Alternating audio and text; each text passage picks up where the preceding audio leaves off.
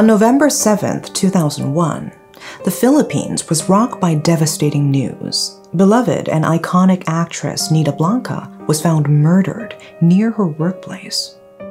And to this day, the circumstances of her death remain shrouded in mystery. Today, we will take a closer look at the theories surrounding her death.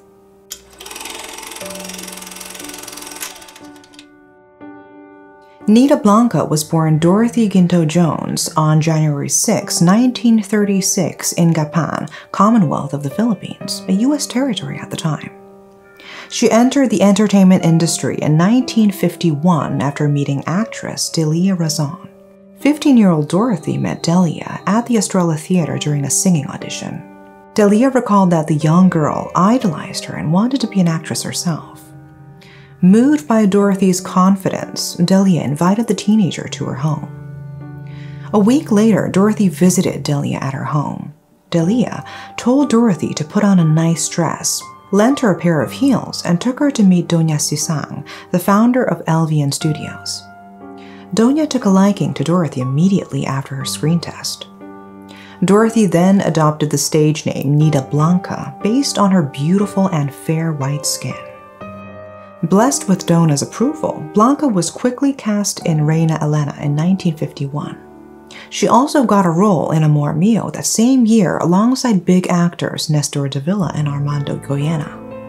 Blanca's career continued to flourish with every movie and show she worked on.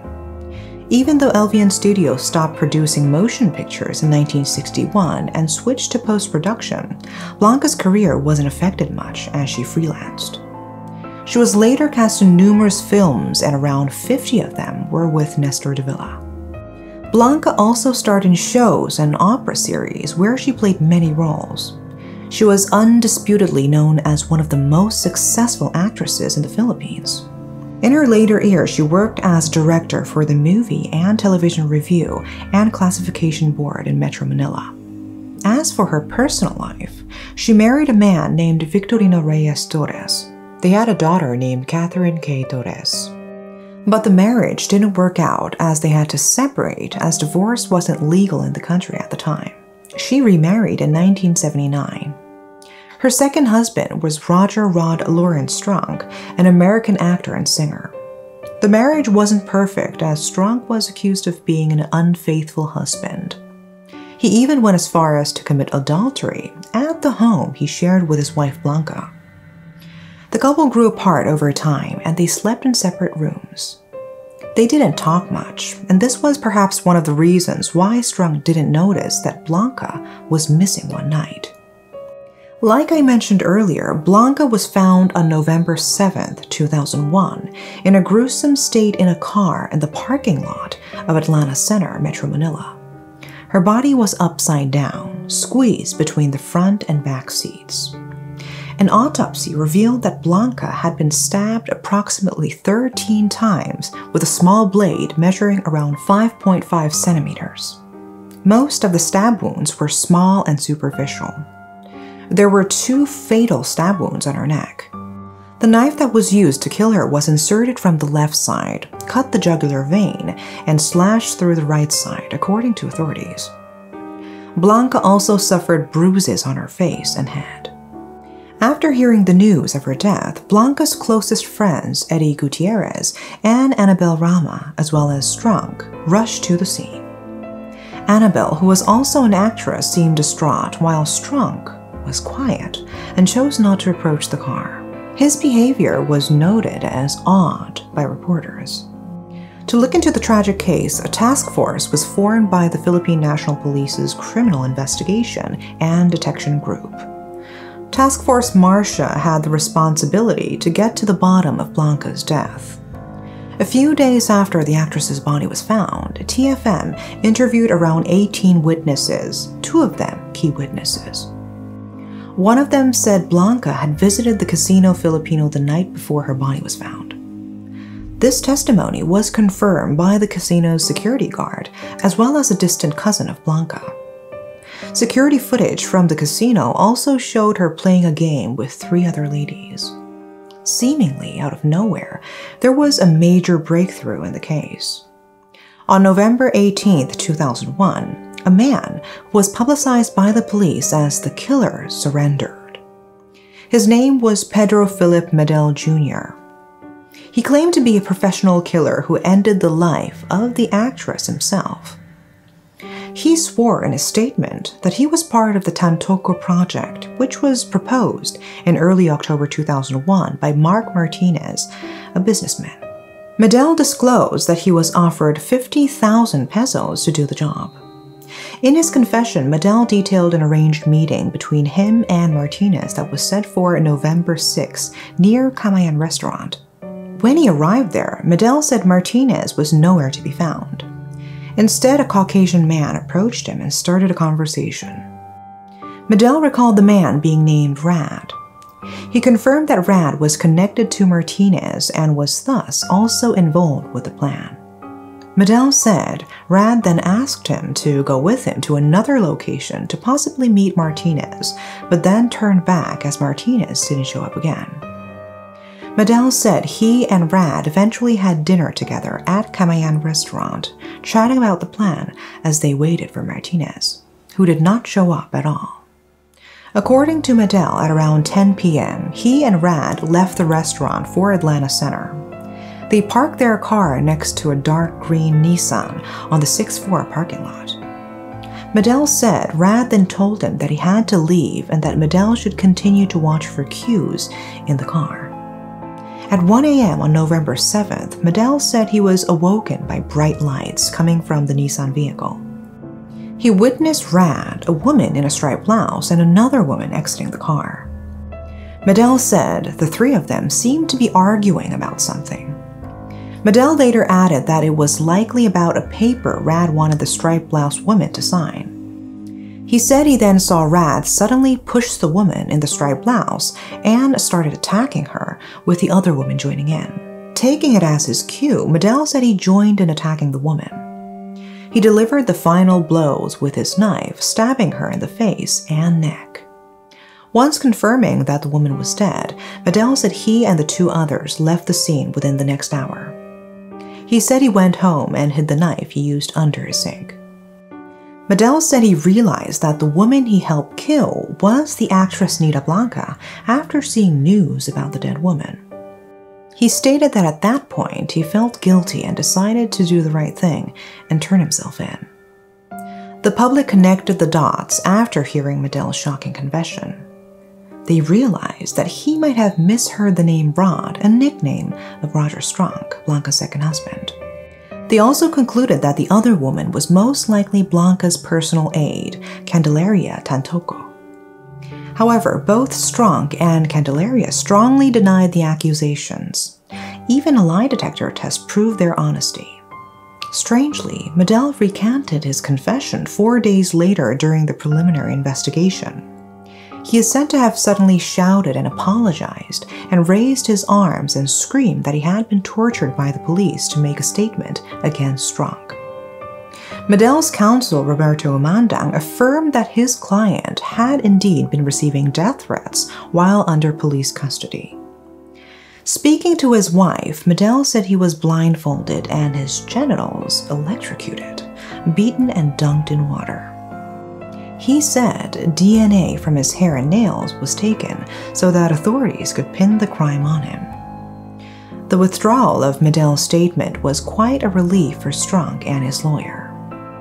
Strunk admitted that the false accusation tore his family apart and put a stain on his name and reputation.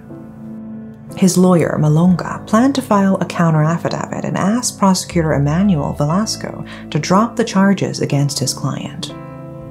There was another name from Medel's first confession that was put into the spotlight. That was Mike Martinez. Strangely, Mike Martinez was reported missing to the National Bureau of Investigation by his wife, Estrelita Martinez, the same day Medel gave his confession. According to Estrelita, her husband went to visit his sick mother in Parañaque City when armed men came to take him away.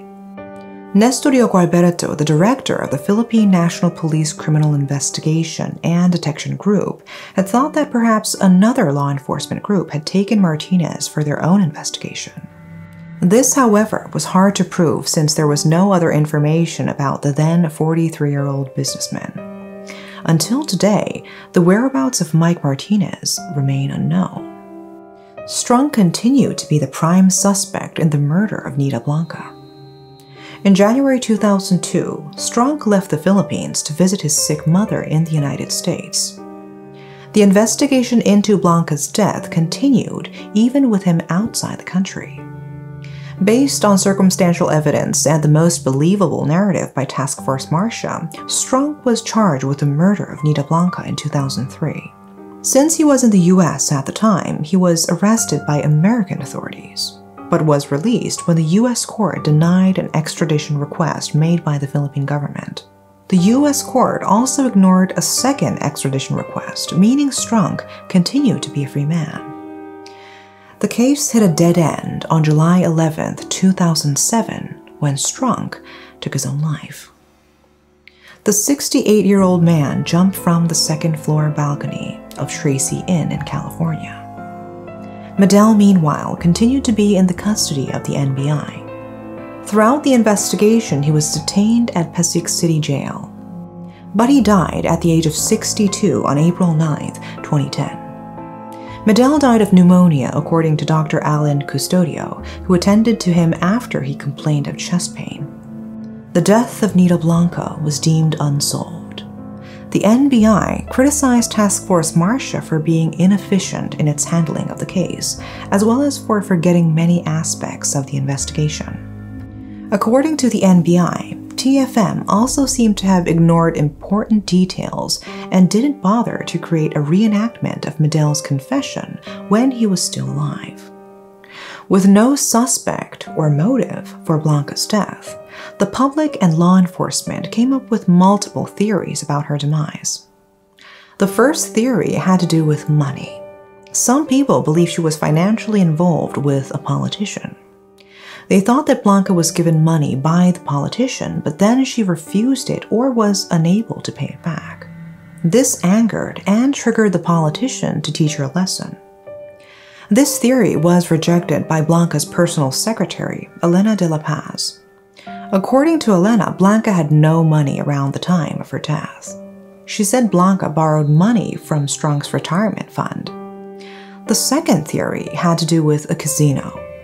The theory was that powerful ex generals and other corrupt businessmen who wished to launder their own wealth found themselves gradually becoming debtors. A former movie star who lent them money would increase the interest so high that it would become overwhelmingly hard to pay. This theory assumed that the former movie star had fallen ill, thus leaving the name list of those debtors in Blanca's hands. Perhaps to raise their debt, those powerful individuals decided to get rid of Blanca for good. This theory was rejected by some, especially fans of Blanca. In their opinion, this theory tarnished her reputation without any fundamental proof. People who worked with Blanca also debunked the theory, stating the veteran actress had always been an honest and kind soul who would never get involved with such shady business. The last theory had to do with her will. The theory was widely believed and pushed by investigators as the main motive. Blanca had around 85 million pesos in wealth and property, including 10 million pesos worth of condos in San Juan and $300,000 worth of property in California. Blanca had written a will not long before her death. It stated that all of her inheritance would go to her only daughter, Catherine K. Torres. Strunk was likely upset about this, and it's assumed Strunk tried to persuade Blanca to add him to the will, but was denied, and this likely pushed him to kill Blanca. This theory was supported by Catherine, who said Strunk had warned her that something bad might also happen to her. Catherine felt threatened and thus requested more security for her safety. This theory was rejected by radio host Inday Badiday, who said that if Strunk was indeed abusing and using Blanca, surely none of her family and friends would be silent about it. Some also didn't believe Strunk would have been able to pull off such a plan and work a normal job in the US, as well as take his own life if he indeed was the mastermind. If all theories are false to some degree, then what was the true motive behind the murder of the renowned veteran actress, Nida Blanca? Was it for money, power was Strunk merely upon used by the police, or was there another hidden motive that the authorities failed to uncover? Unfortunately, even today we can only speculate and are yet to find a clear reason for her tragic death. That's all for today. Thanks for watching.